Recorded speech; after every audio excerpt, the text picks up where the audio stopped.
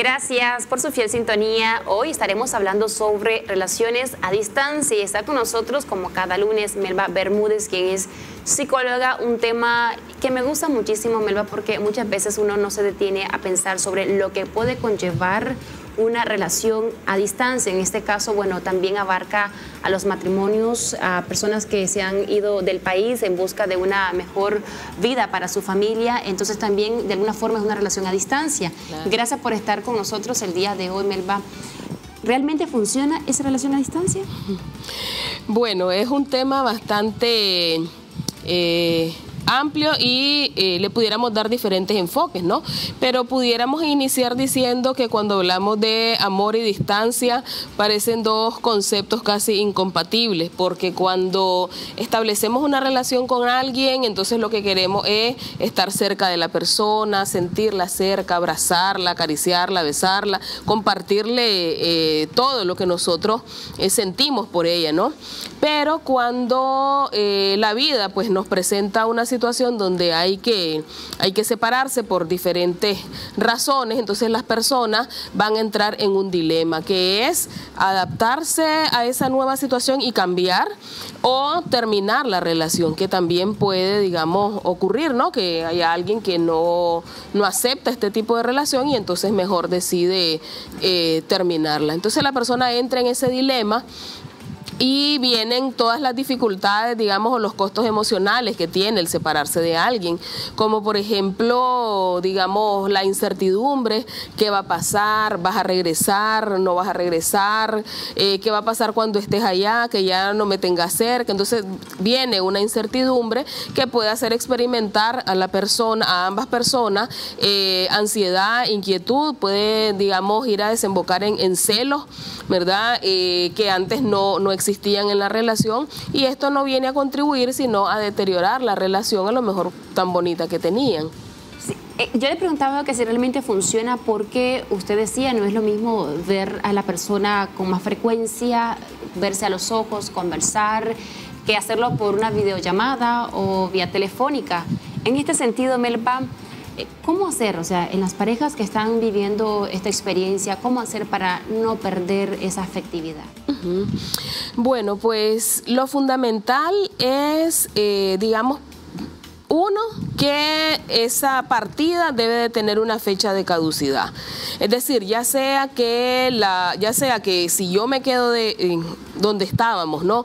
Voy a reencontrarme con la persona allá donde tuvo que marcharse, o ya sea que la persona tenga que regresar. Entonces, pero el, la esa ida, esa partida debe tener una fecha de caducidad. Si no tiene, es decir, me estoy yendo y no sé cuándo voy a volver, no sé si voy a volver, entonces estamos hablando que las personas deberían de reconsiderar eh, si van a continuar o no la relación, porque obviamente si no va a haber un reencuentro no, no tenemos propiamente una relación.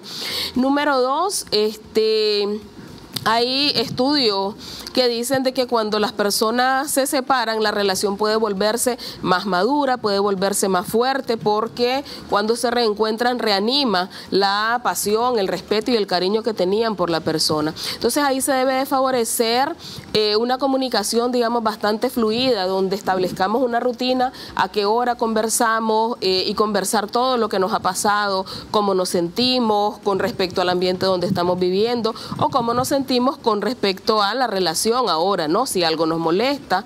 Entonces las personas deben de propiciar para que en realidad funcione una comunicación fluida, deben de estar claras que el otro va a regresar y además de eso deben, digamos, de eh, propiciar algunos detalles con la persona, ¿no? Durante el día, un mensaje, escribirle algo, decirle que estaba pensando pues en, la otra persona para que el que está, es decir, como están lejos, entonces yo siento que la otra persona está siempre tratando de reavivar e, e, ese amor que nos teníamos cuando estábamos aquí juntos.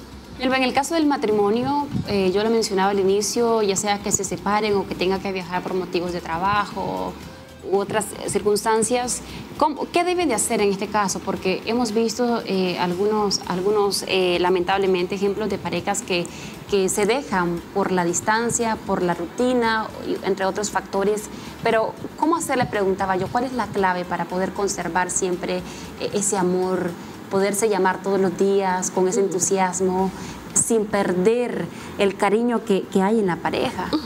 Ok, lo primero en este caso lo mejor sería aceptar la nueva realidad que tenemos para no caer en la tristeza y no caer en el pesimismo, ¿no? Es decir, si por diferentes razones y para mejoría de nuestra familia decidimos separarnos un tiempo, ¿verdad? Y buscar nuevos horizontes, como decimos. Entonces, entre más pronto aceptemos esa realidad, más fácil se nos va a hacer eh, adaptarnos a ella. Ahora, lo otro es que la persona, digamos, que se queda, eh, debe de establecer rutinas también de autocuido, es decir, debe de visitar a sus familiares, debe de socializar, debe de iniciar con algún hobby o con algo que le permita... Eh, distraer su mente y no estar enfocada en la separación, ¿verdad? Porque si yo me enfoco en la separación, en que me quedé, en que, es decir, estamos distantes ahora, en que a lo mejor vos te vas a olvidar de mí, entonces digamos eso va a venir a deteriorar más la relación. En cambio, si yo me enfoco en hacer actividades saludables y en desarrollar una rutina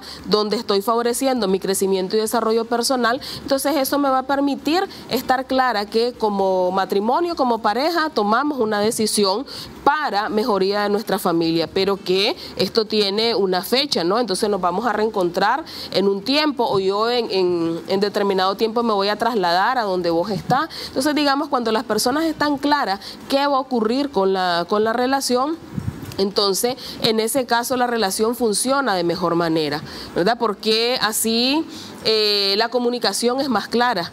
¿Verdad? Eh, y las personas además están a la expectativa de algo que, eh, que es ese reencuentro, ese volvernos a abrazar, volvernos a reír, volver a compartir. Entonces deben de estar claras qué va a pasar y por qué hemos decidido esto. Y para finalizar, Melba, en caso de que no funcione esa relación a distancia, eh, ¿qué recomendaciones o consejos usted le puede dar a la, persona?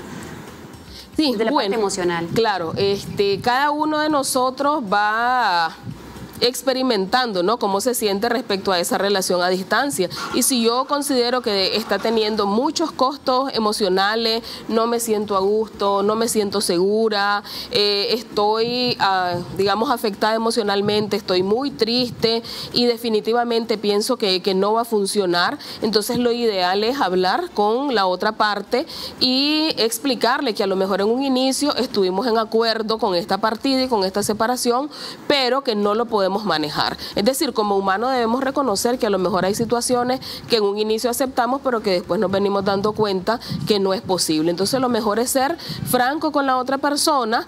Este, y explicarle cómo nos sentimos y que no, es posible eh, funcionar en esta relación a la distancia.